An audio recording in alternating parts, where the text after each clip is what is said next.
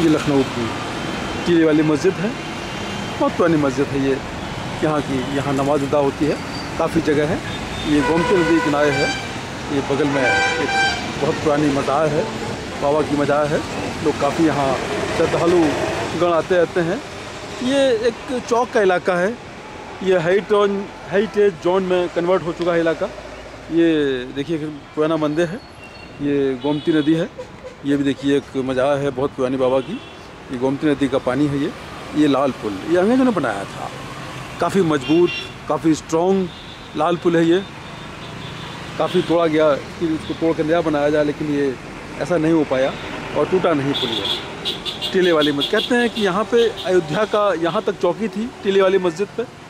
और यहीं पे लक्ष्मण टीला भी है। लक्ष्मण जी की यहाँ चौकी भी थी और अयोध्या की चौकी थी। जब सीता जी को वनवास के लिए छोड़ने आए थे, लक्ष्मण जी। तो इसी, यहीं लक्ष्मण टीला है तो वहाँ रुके थे स्टे किया था उन्होंने।